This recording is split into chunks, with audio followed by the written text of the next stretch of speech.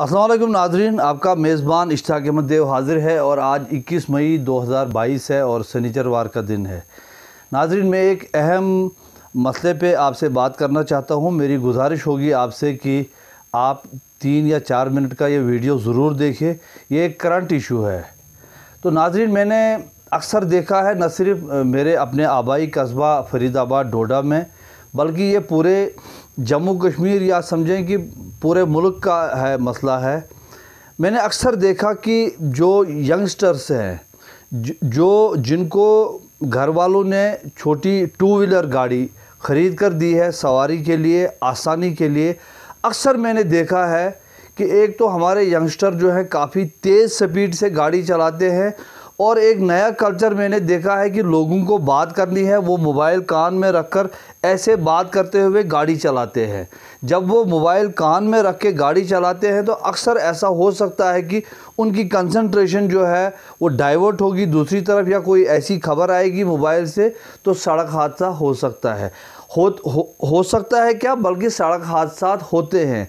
और जब ऐसे सड़क हादसा में, ख़ास करके हमारे जब यंगस्टर इस का शिकार हो जाते हैं तो उस घर पे क्या बीतती है, उस बहन के पे क्या बीतती है, उस माँ बाप पे क्या बीतती है, या चाचा है पुफा है, खाला है, बड़ी रिश्तेदारी होती है, उन पे क्या बीतती है, और उसके बाद वो लोग किस मुसीबत का शिकार होते हैं, पूरी उम्र वो माँ जो है अपने बच्चे को रोती, रहती है।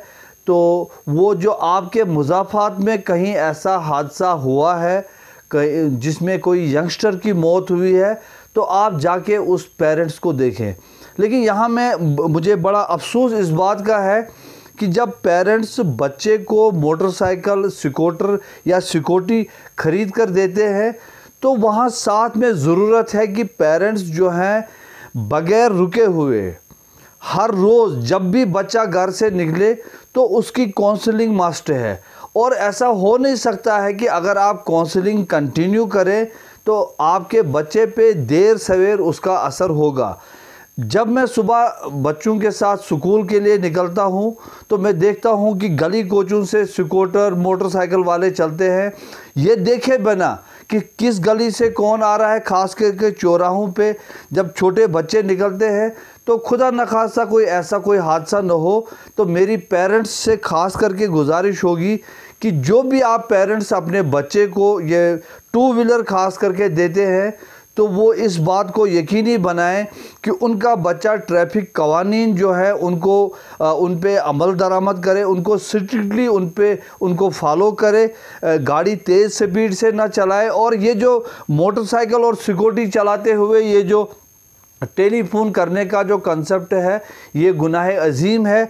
ऐसे हालात में अगर किसी बच्चे की मौत होती है तो मैं कहता हूँ कि ये खुदकशी है और इसमें उसके पेरेंट्स बराबर के शरीक हैं। और जहाँ तक इखलाकियात का ताल्लुक है, जब एक बच्चा बाज़ार में तेज़ मोटरसाइकिल या स्कूटर या सिक्योरिटी चलाता है तो दूर से एक आदमी देखता है, वो ये कहता है कि इस बच्चे की गलती नहीं है, इसके माँ बाप ही ऐसे हैं। तो मेरी आपसे गुजारिश होगी कि जब भी आप अपने बच्चे को मोटरसाइकिल दें, स्कूटर दें सिक्योरिटी दें या फोर व्हीलर दें तो उसको ये तंबी करें आप।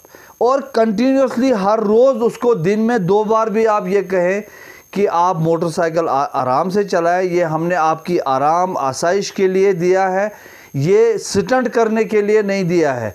और फिर जब हादसा होते हैं फिर हम ट्रैफ़िक वालों पर भी बरसते हैं, फिर हम आरटीओ पर भी बरसते हैं और ख़ास करके उसमें विक्टम जो है, हॉस्पिटल का जो है, अमला है, वो बनता है। हम फिर तोड़ फोड़ शुरू करते हैं, हम नारेबाजी करते हैं, लेकिन वो सांप निकलने के बाद लकीर पीटने के मुतरदफ है। मुझे उम्मीद है कि मैं इख्तसार के साथ जो मैंने आपको मैसेज दिया है, आप इस पर संजीदगी से गौर करेंगे और मुझे उम्मीद है कि ये कल्चर जो ये मोबाइल वाला जो कल्चर है, स्कूटर चलाते हुए यूँ गर्दन टेढ़ी करके ये है, ये इंतहाई ज़्यादा बदखलाकी भी है और गुनाह भी है। जब आप किसी के लिए मसाइल खड़े करते हैं और सेम सिचुएशन में आपको कहूँ कि जब आप गाड़ी पार्क करें तो इस बात को यकीनी बनाएँ कि आपकी जो गाड़ी खड़ी है, उससे किसी को तकलीफ़ ना हो।